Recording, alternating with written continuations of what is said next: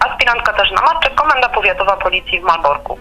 W środę 7 lutego około godziny 17.45 na ulicy Aleja Wojska Polskiego w Malborku kierujący samochodem ciężarowym marki Scania podczas wyprzedzania nie upewnił się co do możliwości zmiany pasa ruchu i doprowadził do zderzenia bocznego z kierującą samochodem marki Citroën. Kierujący byli trzeźwi, kierująca samochodem osobowym została przewieziona do szpitala, który w tym samym dniu opuściła.